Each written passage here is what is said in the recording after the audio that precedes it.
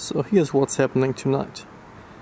I'm gonna take this telescope right here and point it towards a region in the night sky.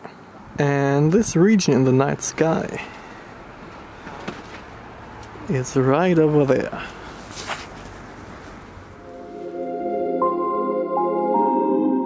The purpose of this hobby is highly controversial. Some want it to be art, some want it to be science. Others want to be alone, and many want to share it. Some think it's hard, some think it's easy. In the end, everyone chooses for themselves.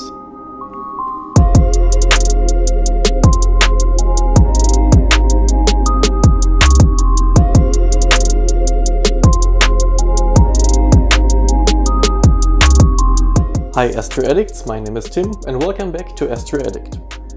Cold nights, snowy nights, new gear, entirely new target. And it's no coincidence that these last three clear nights were the coldest in my three years of astronomy. But that did not stop me of capturing an image of the Rosette Nebula. With my experience, the first night with all these conditions can never go as planned. In these last three years, I learned to keep my expectations low, in order not to get frustrated, because new gear will almost never work the first night. Thankfully it did, and now I want to introduce you to everything new I used to take this image. Right here you can see the main part of the entire setup. You may be familiar with the telescope and the guide scope, and maybe the camera in the back there. But Everything else is completely new. You may see a little bit of red in the setup, and yes, I'm a small fan of ZWO. So let's go over all of this new stuff.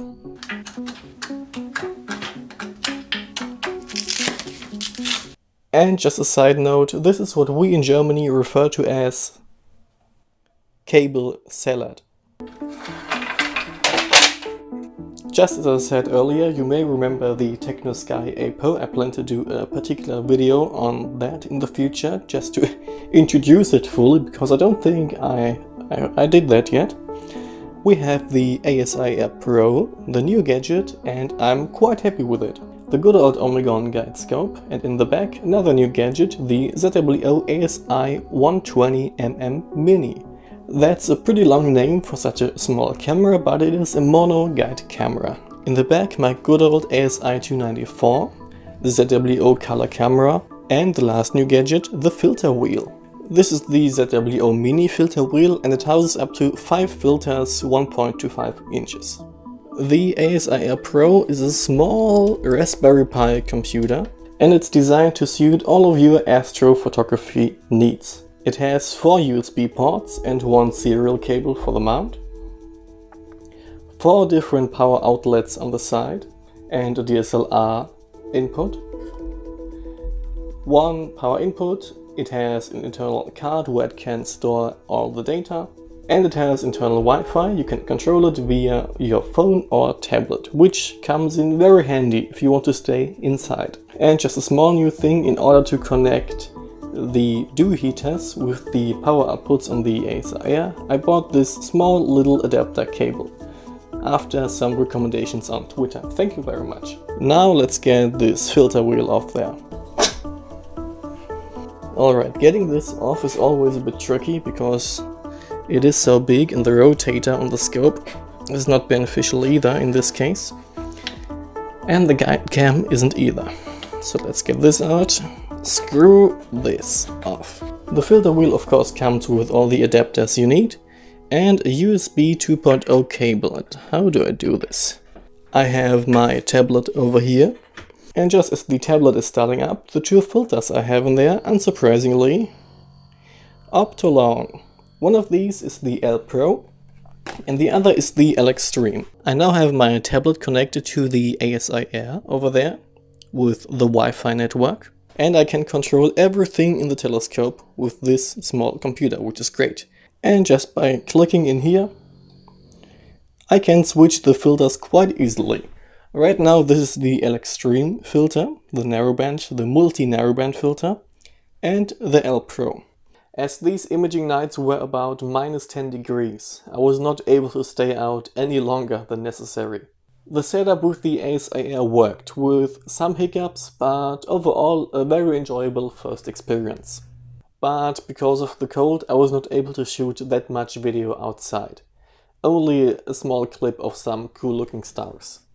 There's the beautiful Orion constellation, if we look a bit more south and down, we can see the brightest star in the hemisphere, in both hemispheres actually, Sirius, twinkling in an amazing color tone.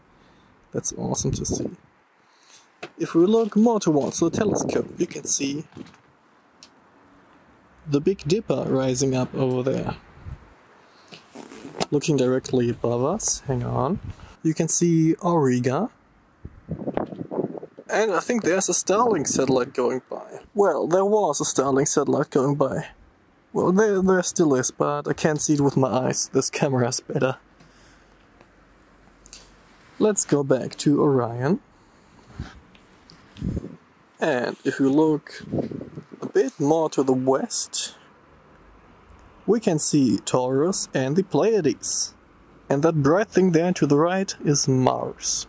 And as soon as it's completely dark, I will take this amazing thing right here and point it not towards Orion.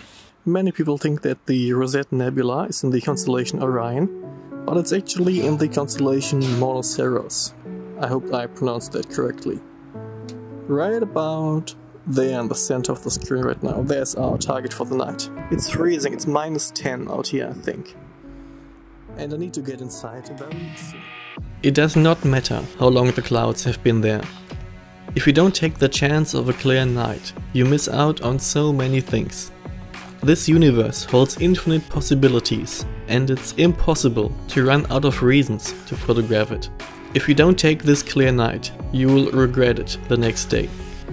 If you don't take this clear night, you miss out on a moment only meant for yourself. If you don't take this clear night, the next ones will feel even further away.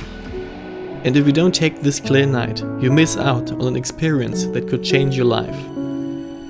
That's why you take it.